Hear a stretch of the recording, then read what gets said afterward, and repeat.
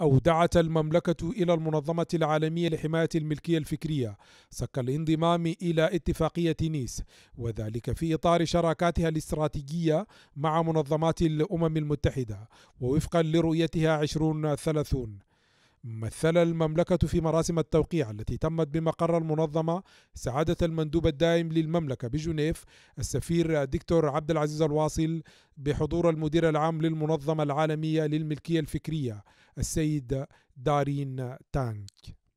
نودع اليوم صك انضمام المملكة إلى اتفاقية نيس بشأن التصنيف الدولي للسلع والخدمات لأغراض تسجيل العلامات حيث ستستفيد المملكة من الاتفاقية في أغراض تسجيل العلامات التجارية.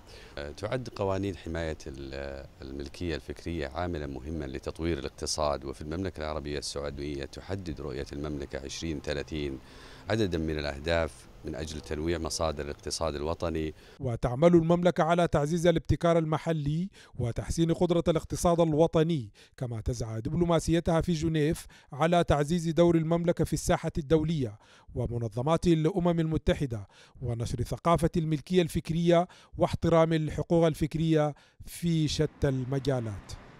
المملكة العربية السعودية لها علاقة ممتازة جدا بالمنظمات الدولية عموما وبمنظمة الدولية للملكية الفكرية خاصة في ظل اهتمام المملكة بتطوير القوانين والمعايير ذات الصلة بالملكية الفكرية.